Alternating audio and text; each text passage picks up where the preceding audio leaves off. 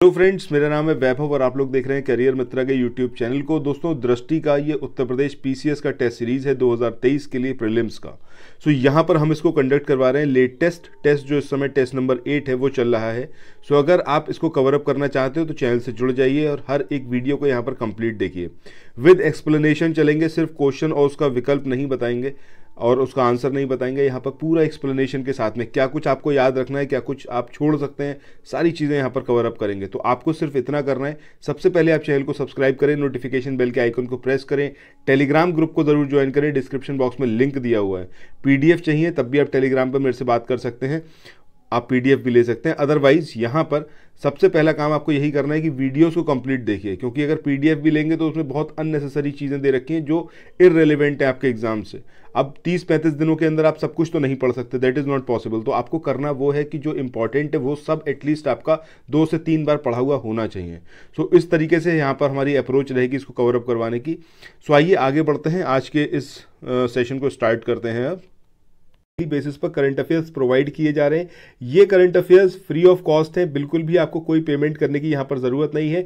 Simply आप description section में जाइए और यहाँ पर इस चैनल को तुरंत सब्सक्राइब करिए टेलीग्राम पे। और जितने क्वेश्चंस यहाँ पर आपको डेली बेसिस पे मिले, हर एक क्वेश्चन को लगाइए, देखिए आपको आता है कि नहीं आता है, ठीक है? और उन क्वेश्चंस को एकदम से आप मगअप कर लीजिए बढ़िया से ताकि एग्जामिनेशन में जब क्वेश्चंस आए तो आप एटलीस्ट ऐसा ना हो कि आप भूल जाएँ वो। ठीक है? आपको याद होना है बे, बेहद ज़रूरी है। तो यहाँ पर जितने भी क्वेश्चंस कराए जाए उन हर एक क्वेश्चन को जो है आप अच्छे से पढ़िए उस क्वेश्चन को याद कर लीजिए। इसके लिए आपको सिंपली टेलीग्राम चैनल के हमारे ज्वाइन करना है उसको और डिस्क्रिप्शन सेक्शन में लिंक दिया हुआ है उसका। दोस्तों स्टार्ट करते हैं आज के अपने सेशन को। यहाँ पर पहला क्वेश्चन है कि सर्वोच्च न्यायालय के न्यायाधीश के रूप में पदोन्नत होने वाली प्रथम महिला वकील कौन है? अब ये फातिमा बीबी, सुजाता मनोहर, आर भानुमति या फिर ये इंदू मल्होत्रा? तो सही आंसर क्या आएगा? ऑप्शन बी, यानी कि इंदू मल्होत्रा। ये क्वेश्चन काफ़ी इंपॉर्टेंट है, इसको आप ज़रूर याद रखिएगा। तो यहाँ पर थ्योरी पार्ट में देखें तो काफ़ी कुछ इंपॉर्टेंट इन्फॉर्मेशन है यहाँ पर। अगर हम बात करते हैं किसकी? इंदू मल्होत्रा की। तो ये सर्वोच्च न्यायालय के न्यायाधीश के रूप में पदोन्नत होने वाली पहली महिला वकील है। ठीक है? इंपॉर्टेंट है, ज़रूर याद रखें। इसके बाद लेफ्टिनेंट कर्नल ज्योति शर्मा की बात करें तो ये भारतीय सेना की प्रथम महिला जज एडवोकेट जनरल रही हैं। इसके बाद नेक्स्ट हम बात करें नुपुर कुलश्रेष्ठ की तो भारतीय तटरक्षक बल की प्रथम महिला डीआईजी के रूप में ये नियुक्त हुई थी। इसके बाद नेक्स्ट हम बात करें तो हिना जायसवाल की, ये प्रथम भारतीय महिला फ़्लाइट इंजीनियर रही हैं, ठीक है? तो ये काफ़ी इंपॉर्टेंट है। भावना कांत की बात करें तो भारत की प्रथम महिला लड़ाकू पायलट रही हैं। चंद्रानी मुर्मू की बात करें, सबसे कम उम्र की सांसद, ये काफ़ी इंपॉर्टेंट है, इस बार आपसे पूछा जा सकता है। दीपा मलिक की बात करें तो पैरा ओलंपिक खेलों में पदक जीतने वाली प्रथम महिला, या फिर भारतीय पैरा ओलंपिक समिति की अध्यक्ष, पहली अध्यक्ष, ये भी यही है आपकी दीपा मलिक। ये भी काफ़ी इंपॉर्टेंट पर्सनैलिटी है, इनको भी याद रखें। इसके बाद एम वीर लक्ष्मी की बात करें तो प्रथम महिला एंबुलेंस ड्राइवर रही हैं एम वीर लक्ष्मी ठीक है? चलिए, अब चलते हैं नेक्स्ट क्वेश्चन पे। इसके बाद अगले क्वेश्चन की बात करते हैं। यहाँ पर पूछा गया है, वर्ष 2022 में अंतर्राष्ट्रीय स्तर पर मनाए जाने वाले विश्व आदिवासी दिवस, इसकी थीम क्या थी? ये काफ़ी इंपॉर्टेंट क्वेश्चन है। इसको भी ज़रूर आप यहाँ पर याद रखें। पहला है पारंपरिक ज्ञान के संरक्षण और संचरण में आदिवासी महिलाओं की भूमिका। दूसरा है स्वदेशी भाषा। तीसरा है कोविड 19 और आदिवासी लोगों का लचीलापन। और चौथा है किसी को पीछे नहीं छोड़ना, आदिवासी लोग और एक नए सामाजिक अनुबंध का आवाहन। तो सही आंसर यहाँ पर क्या होगा? ऑप्शन ए, यानी कि पारंपरिक ज्ञान के संरक्षण और संचरण में आदिवासी महिलाओं की भूमिका। ये यहाँ पर थीम रहा है। किसका? विश्व आदिवासी दिवस का बहुत इंपॉर्टेंट है, ज़रूर इसको याद रखें। आइए अब थ्योरी पार्ट की बात करते हैं। क्या कुछ इंपॉर्टेंट है जो आपको यहाँ पर याद रखना चाहिए? पहली चीज़ आपको ये याद रखना चाहिए कि ये दिवस किस दिन मनाया जाता है? तो हर साल 9 अगस्त को ये दिवस मनाया जाता है। यह दिन वर्ष उन्नीस सौ बयासी में जनेवा में स्वदेशी आबादी पर संयुक्त राष्ट्र कार्य समूह की पहली बैठक को मान्यता देता है। बाकी जो आपको याद रखना है, वो सिर्फ़ इसका थीम है, जो कि है आपका पारंपरिक ज्ञान के संरक्षण और प्रसारण में स्वदेशी महिलाओं की भूमिका। चलिए, अब चलते हैं नेक्स्ट क्वेश्चन पे। इसके बाद अगले क्वेश्चन में यहाँ पर आपसे पूछा गया है, निम्नलिखित में से किस राज्य में भारत की सबसे बड़ी फ्लोटिंग सौर ऊर्जा परियोजना को प्रारंभ किया गया है? अब ये तेलंगाना है, उत्तर प्रदेश है, केरला है या फिर ये आंध्र प्रदेश है? तो सही आंसर यहाँ पर क्या आएगा आपका? ऑप्शन ए यानी कि तेलंगाना में हिंदुस्तान की सबसे बड़ी फ्लोटिंग सौर ऊर्जा परियोजना इसको स्टार्ट किया गया है। सो यहाँ पर बेसिकली जो आपको याद रखना है, वो यही याद रखना है कि तेलंगाना के रामागुंडम में एनटीपीसी के द्वारा भारत का सबसे बड़ा फ्लोटिंग सौर ऊर्जा संयंत्र इसको विकसित किया जा रहा है। अगर आपसे स्पेसिफिकली जिला पूछ लें, वैसे तो संभावना बिल्कुल ज़ीरो है कि आपसे जिला पूछेंगे, ठीक है? बट फिर भी पेडापल्ली। इस ज़िले को भी याद रखिएगा, पेडापल्ली ज़िले का है ये रामागुंडम, जहाँ पर एनटीपीसी इस सौर ऊर्जा संयंत्र को विकसित कर रहा है, ठीक है? बाकी एनटीपीसी क्या है? अब ये सब आप लोगों को पता ही है कि पीएसयू है। फ्लोटिंग सोलर पैनल की बात करें, फिर सोलर प्लांट की बात करें सॉरी तो इसमें क्या होता है? इसमें जो वाटर बॉडी है, उसकी सतह पर फोटोवोल्टिक पैनल जो होते हैं, इसकी तैनाती करी जाती है, ठीक है? और इस तरीके से ऊर्जा जो है, सौर ऊर्जा, इसको प्राप्त किया जाता है, ठीक है? अब इसमें आगे हम देखें कि भारत में आने वाली जो परियोजनाएँ हैं, वो कौन कौन सी हैं? एक तो रामागुंडम वाली आपने देख ली 2023 तक ये स्टार्ट हो जाएगी। इसके अलावा अगर हम बात करें तो विशाखापट्टनम के पास में अब ये 25 मेगावाट क्षमता का समहाद्री थर्मल पावर प्लांट और केरल में के कायम कुल्लम में बानवे मेगावाट क्षमता का फ्लोटिंग सोलर प्लांट ये भी जो है वो इसके अंदर शामिल है। चलिए, अब चलते हैं नेक्स्ट क्वेश्चन पे। इसके बाद अगले क्वेश्चन की बात करें, यहाँ पर पूछा गया है कि हाल ही में चर्चा में रहा सूर्या नूतन ये किससे संबंधित है? अब इसका जो सही आंसर आएगा सूर्य नूतन का तो ये है आपका स्वदेशी सोलर कुकिंग सिस्टम ठीक है? तो यहाँ पर आंसर क्या होगा आपका? ऑप्शन डी अब यहाँ पर इसके थ्योरी पार्ट की बात करें तो बेसिकली जो आपको यहाँ पर याद रखना है, पहली चीज़ कि सूर्या नूतन इसको डेवलप किसके द्वारा करा गया है? तो वो है आपका इंडियन ऑयल कॉरपोरेशन का जो रिसर्च एंड डेवलपमेंट सेंटर है, उसके द्वारा इसको डेवलप किया गया है। और ये एक स्वदेशी indoor solar cooking cooking system है, ठीक है? ये बात आपको इसके बारे में याद रखनी है। इसके बाद जो मेन पॉइंट है कि इसको कितने शहरों में और कौन कौन से शहरों में इस्टेब्लिश किया गया है, फिर इसको पायलट प्रोजेक्ट के तौर पर शुरू किया गया है। तो ये है आपका लेह, इसके बाद लक्षद्वीप, ग्वालियर, उदयपुर और दिल्ली एनसीआर ठीक है? यहाँ पर सौर विकरण और खाना पकाने के रीति रिवाजों के विभिन्न स्तरों के साथ वर्तमान में 50 सूर्य नूतन पैकेजों का एक पायलट परीक्षण चल रहा है ठीक है? एक पायलट प्रोजेक्ट के रूप में इसको स्टार्ट किया गया है। ये यहाँ पर इंपॉर्टेंट है नंबर ऑफ़ सिटीज़ और दूसरा उन सिटीज़ के नाम जहाँ पर जो ये सूर्य आपका ये सूर्य नूतन है इसको पायलट प्रोजेक्ट के रूप में परीक्षण इसका किया जा रहा है। चलिए अब चलते हैं नेक्स्ट क्वेश्चन पे। सो so, अगले क्वेश्चन की यहाँ पर बात करें। इस क्वेश्चन में आपसे यहाँ पर पूछा गया है खाद्य संकट पर वैश्विक रिपोर्ट जारी की जाती है। किसके द्वारा? खाद्य एवं कृषि संगठन के द्वारा, पोषण पर संयुक्त राष्ट्र की स्थायी समिति के द्वारा, या फिर global network against food crisis के द्वारा, या फिर संयुक्त राष्ट्र विश्व खाद्य कार्यक्रम के द्वारा। तो सही आंसर क्या आएगा यहाँ पर? ऑप्शन सी, यानी कि global network against food crisis. इसके द्वारा खाद्य संकट पर वैश्विक रिपोर्ट इसको जारी किया जाता है। आइए अब बात करते हैं क्या कुछ यहाँ पर थ्योरी पार्ट में दिया हुआ है। सबसे पहली चीज़ कि global network against food crisis G N A F C इसके द्वारा global report on food crisis 2022 नाम का एक वार्षिक रिपोर्ट जो है इसको जारी किया गया। ये जो रिपोर्ट है जी एन ए एफ़ सी का प्रमुख प्रकाशन है और इसे खाद्य सुरक्षा सूचना network F S I N द्वारा सुगम बनाया गया है। आगे इसमें देखें तो वर्ष 2020 की तुलना में 2021 में वैश्विक स्तर पर 40 मिलियन से अधिक लोगों ने संकट या बदतर स्तर पर तीव्र खाद्य असुरक्षा का अनुभव किया है। ये एक फाइंडिंग है इस रिपोर्ट की। नेक्स्ट जो फाइंडिंग है वो है आपका इथोपिया, दक्षिणी मेडागास्कर, साउथ सूडान और यमन में तकरीबन पाँच लाख से अधिक लोग जो थे वो तीव्र खाद्य असुरक्षा से पीड़ित हैं। इसके बाद आगे बात करें तो तिरपन देशों या क्षेत्रों में एक सौ तिरानवे मिलियन से अधिक लोगों ने वर्ष 2021 में संकट या बदतर स्तर पर तीव्र खाद्य असुरक्षा का अनुभव किया है। खाद्य असुरक्षा के जो ये कारक हैं, अब इसमें संघर्ष है, मौसम की चरम सीमा है, ये दो इसके मेन फैक्टर हैं, ठीक है, जो इस रिपोर्ट के अंदर मेंशन किए गए हैं। इसके बाद मूव ऑन करते हैं नेक्स्ट क्वेश्चन पे। अगले क्वेश्चन में यहाँ पर आपसे पूछा गया है, बटरफ्लाई माइन। इसके संदर्भ में निम्नलिखित में से कौन सा कथन है जो कि सही है? पहला है यह अत्यंत संवेदनशील एंटी पर्सनल बारूदी सुरंग है। दूसरा है इनका पता लगाना आसान होता है क्योंकि ये प्लास्टिक की बनी होती हैं। अब आपको बताना है कि कौन सा स्टेटमेंट यहाँ पर सही है। तो देखिए, पहला स्टेटमेंट ही यहाँ पर करेक्ट है, जिसमें बोला गया है कि यह अत्यंत संवेदनशील एंटी पर्सनल बारूदी सुरंग है। तो इस तरीके से आंसर क्या होगा हमारा? ऑप्शन ए, जहाँ पर सिर्फ़ एक स्टेटमेंट को बोला गया है कि वो सही है। अब यहाँ पर हम थ्योरी पार्ट में देखें तो ये जो बटरफ्लाई माइन है, ये किस तरीके से न्यूज़ लाइट लाइमलाइट में रही है या फिर न्यूज़ में रही है?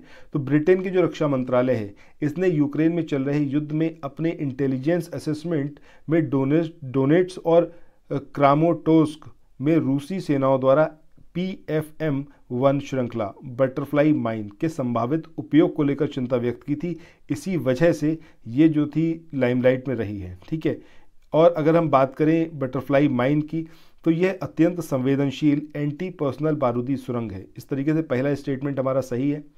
पाँच किलोग्राम का एक प्रयुक्त पेलोड खदान में विस्फोट करने के लिए पर्याप्त होता है। छोटे बच्चों के लिए भी यह बेहद खतरनाक है और पी एफ़ एम वन और P F M one S के बीच बड़ा अंतर क्या है कि P F M one S जो है वो एक स्वविनाशक तंत्र है जो एक से चालीस घंटों के भीतर सक्रिय हो जाता है। वहीं अगर हम बात करें कि पी एफ़ एम वन और P M P F M one S को आमतौर पर बटरफ्लाई माइन या फिर ग्रीन पैरेट के रूप में भी जाना जाता जाना जाता है और हेलीकॉप्टर से गिराकर या फिर तोपखाने या फिर मोटार से भी इसको जो है ब्लास्ट किया जा सकता है, प्रॉपरली इसको यूज़ किया जा सकता है। आगे हम बात करें कि ये बिना विस्फोट किए धरातल पर गिरते हैं और धरातल के संपर्क में आने पर विस्फोट करते हैं। इन माइंस का पता लगाना मुश्किल होता है, क्योंकि ये प्लास्टिक से बनी होती हैं और इन्हें मेटल डिटेक्टर से नहीं ढूंढा जा सकता। ठीक है? इसलिए ये जो सेकंड स्टेटमेंट है, ये यहाँ पर इनकरेक्ट है। प्लास्टिक का यूज़ होता है, ये बात सही है बट इनको आसानी से पता नहीं लगाया जा सकता, क्योंकि ये प्लास्टिक की बनी होती है और मेटल डिटेक्टर मेटल का वो डिटेक्ट करता है। अब ये मेटल यूज़ ही नहीं होता इसमें तो वो डिटेक्ट नहीं कर पाता है। ठीक है? चलिए अब चलते हैं नेक्स्ट क्वेश्चन पे। अगले क्वेश्चन में यहाँ पर आपसे पूछा गया है कि निम्नलिखित में से किस पुस्तक को वर्ष 2022 का अंतर्राष्ट्रीय बुकर प्राइज मिला है या फिर बुकर प्राइज मतलब पुरस्कार मिला है? तो सही आंसर क्या आएगा आपका? टॉम्ब ऑफ़ सेंट ये बहुत इंपॉर्टेंट इसके बाद आगे हम बात करते हैं क्या कुछ यहाँ थ्योरी पार्ट में इंपॉर्टेंट है जो आपको याद रखना है। तो देखिए टॉम ऑफ़ सेंट ये किसी भारतीय भाषा में लिखी गई पहली पुस्तक बन गई है जिसको अंतर्राष्ट्रीय बुकर पुरस्कार से सम्मानित किया है। अब ये मूल रूप से कौन सी भारतीय भाषा में लिखी गई? तो हिंदी में लिखी गई। हिंदी में इसका नाम क्या था? रेत समाधि। किसने लिखा? लेखक हैं आपकी गीतांजलि श्री। अब इसका इंग्लिश में ट्रांसलेशन किसने करा? वो है आपका डेजी रॉकवेल अब क्या कुछ अंतर्राष्ट्रीय बुकर प्राइज के बारे में है, इसको यहाँ पर समझ लीजिए। सबसे पहली बात कि ये जो अंतर्राष्ट्रीय बुकर प्राइज है, ये वार्षिक रूप से दिया जाता है किसी एक पुस्तक को, जिसका अंग्रेज़ी में अनुवाद किया गया हो और यूके या फिर आयरलैंड में प्रकाशित किया गया हो। उपन्यास और लघु कथाओं के संग्रह दोनों ही इसके लिए पात्र होते हैं और इंटरनेशनल बुकर प्राइज इसकी शुरुआत 2005 में मैन मैन बुकर अंतर्राष्ट्रीय पुरस्कार के रूप में हुई थी। इसका उद्देश्य क्या है? उद्देश्य है विश्व भर के उच्च गुणवत्ता वाले उपन्यासों को अधिक से अधिक पढ़ने के लिए प्रोत्साहित करना।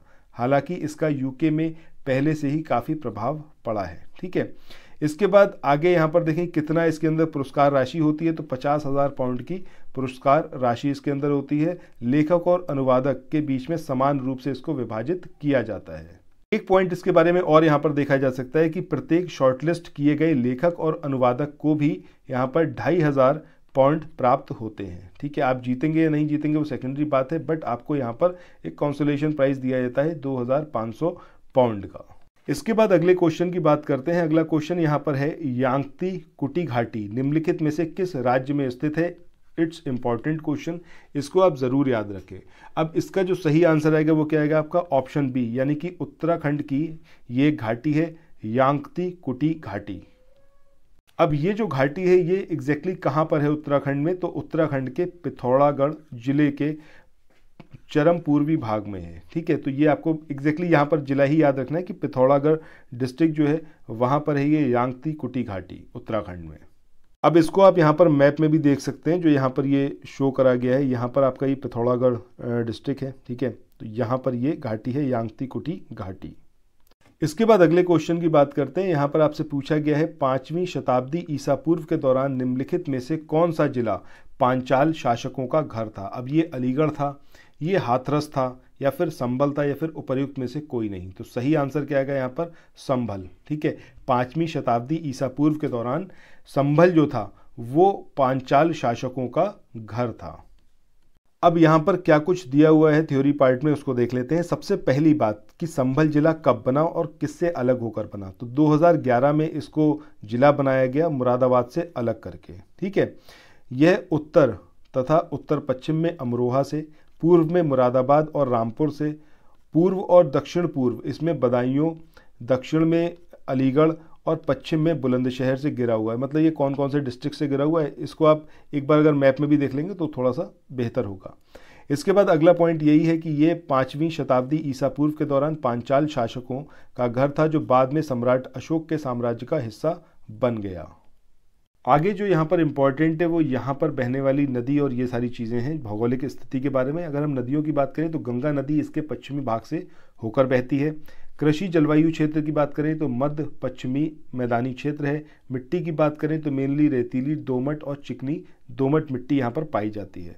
प्रमुख कृषि उत्पाद की बात करें तो यहाँ पर चावल, बाजरा, गेहूँ रेपसीड सरसों, गन्ना, इसके अलावा जो आलू है इसकी यहाँ पर पैदावार होती है। इसके बाद आज के इस सेशन के लास्ट क्वेश्चन पर आ चुके हैं। यहाँ पर पूछा गया है, बाबा बंदा सिंह बहादुर का शहीदी दिवस, ये कब मनाया जाता है? अब ये 14 जून को मनाया जाता है 9 मई को या फिर 9 जून को, या फिर ये है आपका 14 मई। तो सही आंसर क्या आएगा यहाँ पर? 9 जून को मनाया जाता है आपका ये, बाबा बंदा सिंह बहादुर का शहीदी दिवस। आइए अब इसके थ्योरी पार्ट में देखते हैं क्या कुछ इंपॉर्टेंट है। तो सबसे पहली बात तो यही कि आपको 9 जून का दिन याद रखना है, बाबा बंदा सिंह बहादुर का शहीदी दिवस के रूप में, ठीक है? इसके अलावा राष्ट्रीय स्मारक प्राधिकरण द्वारा आयोजित एक कार्यक्रम में जो संस्कृति राज्य मंत्री हैं, इनके द्वारा और भारत सरकार ने नई दिल्ली में 9 जून 2022 को उनके 306वीं यानी कि 306 जो शहीदी दिवस था, उससे पहले बंदा सिंह बहादुर शहादत स्मारक पोस्टर का विमोचन किया। ठीक है? इसके बाद आगे हम देखें तो वह भारत की रक्षा करने और मुगलों को हराने के लिए एक महान योद्धा थे। इसके बाद उनका अगर मूल नाम की बात करें तो मूल नाम क्या था? माधव दास। ये पॉइंट इंपॉर्टेंट है, इसको याद रखिएगा। और एक बैरागी बाबा थे। उन्होंने मुगलों के दमनकारी शासन से देश को राष्ट्रीय जागृति और मुक्ति दिलाने का लक्ष्य रखा था। हालाँकि भारत की आज़ादी बहुत बाद में मिली है फिर भी बाबा बंदा सिंह बहादुर ने सबसे पहले भारतीयों को लड़ना, जीतना और अपने स्वतंत्र शासन को स्थापित करना सिखाया था। यहाँ पर इनका नाम आप ज़रूर याद रखिएगा, मूल नाम क्या था? माधव दास। ये इंपॉर्टेंट है। वह और उनके पुत्र अजय सिंह 9 जून 1716 को मेहरौली में तथाकथित सूफी संत कुतुबुद्दीन बख्तियार काकी की कब्र के रास्ते में उनके अन्य अट्ठारह साथियों के साथ शहीद हो गए थे। उनकी शानदार शहादत ने गुरु ग्रंथ साहिब में भगत कबीर के गायन को मान्य किया है। तो ये सब कुछ है, जो कि आपको यहाँ पर थ्योरी पार्ट में दिया हुआ है। बेसिकली आपको यहाँ पर यही याद रखना है कि इनके पुत्र का नाम क्या था? अजय सिंह था। इनका ओरिजिनल नाम क्या था? मूल नाम वो था माधव दास, ठीक है? और कब ये शहीद हुए? 1716 में 9 जून को। ये तीन चार पॉइंट हैं जो आपको यहाँ पर याद रखने हैं। चलिए। इसी के साथ आज के इस वाले सेशन को यहाँ पर समाप्त करते हैं। प्लेलिस्ट में जाकर आप सारे वीडियोस को प्रीवियस देखिए। ये आठ नंबर का पार्ट है। अभी जो सात रिमेनिंग पार्ट और रह गए हैं, उनको भी जल्द ही फिनिश कर लेंगे। प्रोबेबली आज ही सारे अपलोड किए जाएँगे। उसके बाद कल जो है कंबाइंड वीडियो अपलोड किया जाएगा, जिसमें पार्ट नंबर एक से पार्ट नंबर फिफ्टीन तक सारे वीडियोस रहेंगे। देखिए, हर पार्ट में दस क्वेश्चन ही रखे गए हैं। रीज़न बीइंग कि हर एक वीडियो तकरीबन बीस बाईस मिनट का हो ही जाता है। क्योंकि यहाँ पर विद थ्योरी मैं आपको लेके चल रहा हूँ। ऐसा नहीं कर रहा हूँ कि सिंपली क्वेश्चन और उसका आंसर बताया और उसको ख़त्म कर दिया। क्योंकि वो तरीका सही नहीं है। जितने इंपॉर्टेंट पॉइंट है, जितने इंपॉर्टेंट आस्पेक्ट्स हैं, वो सब कुछ कवरअप होने चाहिए। तभी कोई भी टेस्ट सीरीज़ को कवरअप करने का कोई औचित्य है। ठीक है? सो आप लोगों को अगर ये पसंद आए सीरीज़ तो चैनल को सब्सक्राइब करना। इस वाले वीडियो के लिंक को शेयर करना बिल्कुल मत भूलिएगा और देखते रहिए career Mantra thank you so much bye